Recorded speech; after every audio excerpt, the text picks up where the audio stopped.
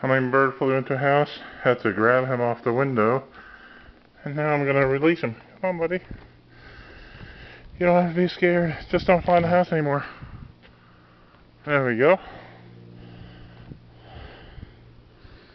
Oh yeah. Definitely peed all over my fingers. But that's okay. Mmm, smells like really rancid sugar. Alright. I guess we'll call this part of Chiefton Snake Removal Service. There's hummingbirds in the house.